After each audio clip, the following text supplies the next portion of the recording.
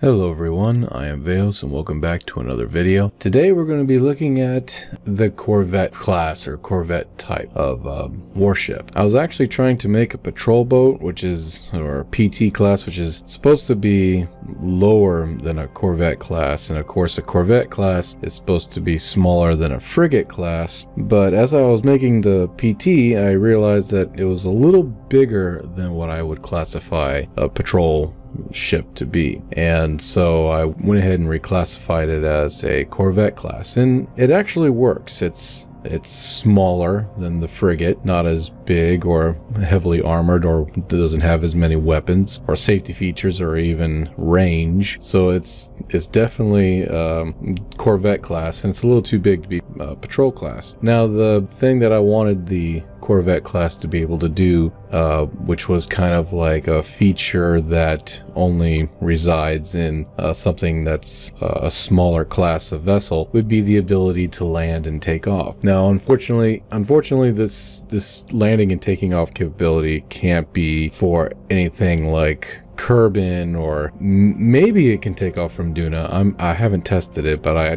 I doubt it, seriously doubt it. But uh, more like moons and stuff. So it can land on low gravity moons and things of this nature. I tested it out on the moon that was around Kerbin, which is kind of a standard. If you can land on the moon on Kerbin, then more than likely you can land on any other moon out there except for, of course, uh, you know, that one moon that's around Jool that's got like the same size and gravity as Kerbin or something of that nature. I wouldn't touch that with a 10 foot pole with this one. But most of most of the other moons are would be pretty easy to land on and take off from. Now, I wouldn't land on a moon for no reason at all. More than likely the Corvette class would land at a colony and the colony would be able to refuel the ship or even the Corvette class could, you know, be sent to the colony uh, to protect it um, like a, you know, standby or to guard that area. And so so it could be refueled and everything and scramble if anything was to happen or if any or if the colony was under attack. So you could see like maybe a couple of these parked outside next to the uh, fuel depot ready to go and stuff of this nature because this kind of craft when you're talking about when you when you go down to like corvettes and you start talking about patrol and fighter craft these crafts were are not really designed to attack things as large as frigates or cruisers so or at least not by the themselves. If they're going to attack something that big, then they usually hunt in packs, like wolves. So you're not, you're never going to see a frigate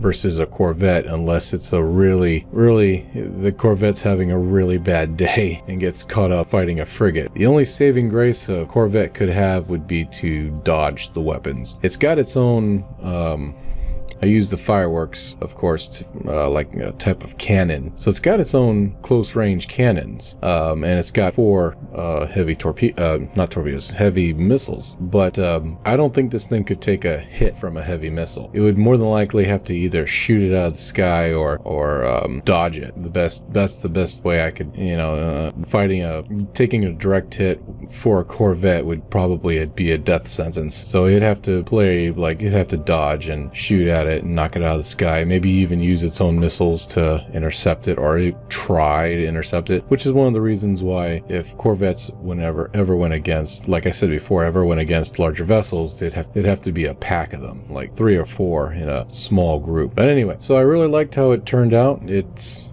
it's it actually it's it's actually really nice looking it, it's it's it's got sleek and you know it's got armor bits that have the white stripes and and stuff of this nature, which is kind of the theme I'm going for this particular type of fleet design. So that's really nice. And I love how the doors open up on the sides, revealing the missiles, and it kind of like it kind of like goes into battle mode, right? Where the uh, cannons open up and the doors on the sides open up, and she's ready to she's ready to rock and roll. So, all right, well, everyone, thank you so much for watching, and thank you so much for being a part of this channel. As I said before, if you have any ideas ideas or questions or anything of that nature, I'll try to address them in the next video. Just go ahead and comment on the, just go ahead and leave a comment below the video and stuff of this nature. But yeah, I am VAOS, signing off and have a, have a good day. Bye for now. Bye bye.